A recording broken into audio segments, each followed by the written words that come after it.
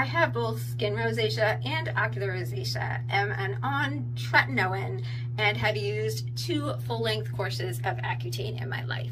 I'm also middle-aged, so I have dry, flaky, sensitive skin that has burned and stung with every cleanser I've ever tried until this one. And this is also very cheap. So this stuff is amazing.